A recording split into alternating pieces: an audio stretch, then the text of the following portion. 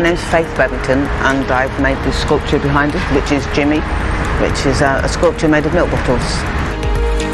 This structure is made of willow and wire and um, a bit of steel in it, just like a box in the middle, just to hold it all sturdy down the legs. Um, but it's very simple, low-tech kind of structure um, and recycled, of course. Have made a horse before and um, at school I used to ride a horse um, called Jimmy. He was an ex-working horse, which is what Jimmy is, an ex-working horse. Um, yeah, and he hated me.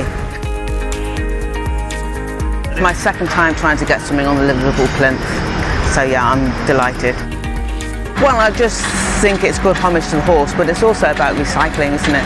And about, you know, that it's made of thousands of milk bottles and um, so think about the environment a little bit.